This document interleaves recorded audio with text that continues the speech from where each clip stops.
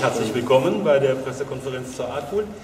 Vielleicht zwei, drei Sachen eingangs. Die Artpool wird veranstaltet vom WZK. Wir zeigen Kunst als lokaler Veranstalter und äh, organisiert bzw. konzipiert und ausgeschrieben und mit den entsprechenden Printmedien und Ähnlichem versehen wird es von der Kunstfirma Köln.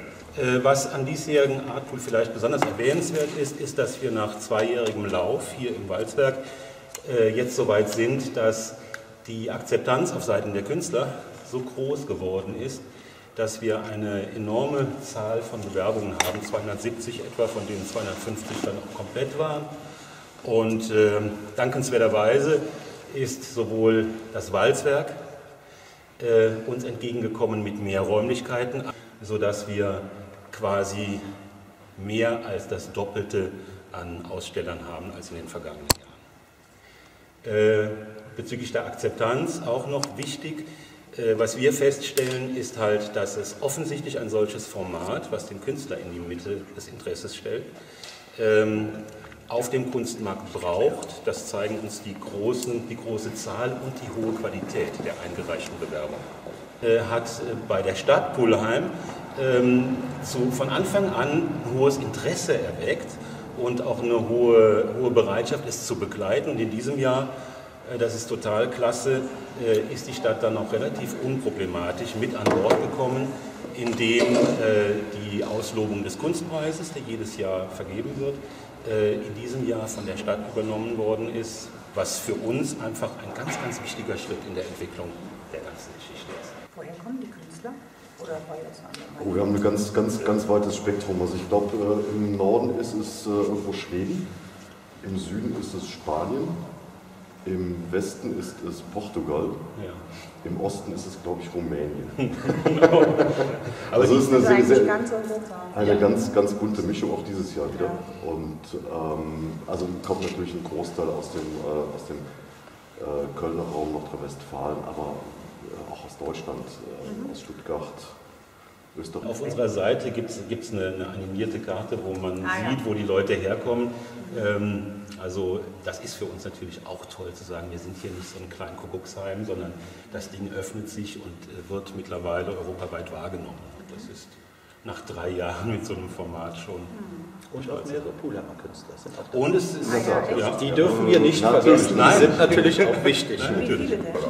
Also die letzten beiden Jahre war ich äh, schon ja immer zur Eröffnung hier und wir haben das mit großem Interesse auch immer verfolgt. Ich hatte auch schon im Rahmen des Neujahrsempfangs gesagt, dass ich es für wichtig halte, die Zusammenarbeit zwischen den städtisch organisierten Veranstaltungen und eben dem, was hier im Walzwerk sich tut, zu verbessern. Insbesondere, darf ich auch sagen, mit der Preisverleihung des Kulturpreises an das Projekt WZK das ist damals auch auf ausdrücklichen Vorschlag der Stadt ja, ähm, erfolgt. Und da freuen wir uns auch. Wir finden, dass das, was hier im Walzberg stattfindet, toll. Da ist ein Projekt, die Art Pool, das ist ein ganz wichtiges Projekt. Und wir haben eben überlegt, in Absprache eben hier mit den Veranstaltern und den Organisatoren, wie können wir uns damit einbringen. Und da, erschien uns dann eben die Verleihung dieses Preises ein gutes Format, um sich da zu beteiligen. Wir, also unsere Ambition ist tatsächlich eine große Vielfalt zu zeigen. Wir werden sehen, wir haben also relativ viel ähm, skulpturale Arbeiten, weil wir auch sehr schöne Plätze dafür haben. Deshalb konnten wir sehr viel Skulptur platzieren in diesem Jahr. Wir haben ein paar Arbeiten, die installativ sind, also wo es tatsächlich also auf eine Rauminstallation hinausläuft. Das Gros macht natürlich Malerei in jeder, in jeder äh, Fasson aus, also vom Hyperrealismus bis zum Inszenierenden äh, ist die ganze Palette der heute aktuellen Kunst dabei.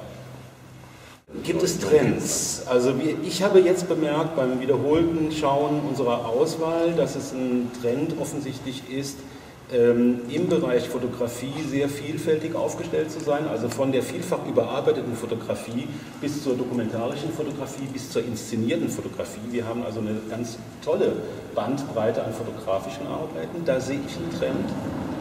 Ähm, einen weiteren Trend sehe ich tatsächlich auch in, der, in allem, was rund um Realismus im Malerischen ist. Also das geht dann also von experimentellem Realismus bis zum Hyperrealismus. Ähm, der Mensch als, als, als, als äh, Objekt, als äh, Objekt der Darstellung ist auch äh, wird auch wieder immer stärker. Wir hatten ja mal eine Zeit, wo man das nicht so gerne geguckt hat, also Menschen auf Bildern. Ähm, das ist ganz anders. Wir haben eine, eine unglaubliche Vielzahl an Bewerbungen, wo es tatsächlich um das Thema Mensch, menschliche Beziehungen, menschliches Individuum, menschliche Befindlichkeiten geht. Wie viel Ausstellungsfläche steht denn hier zur Verfügung? 4000 Quadratmeter.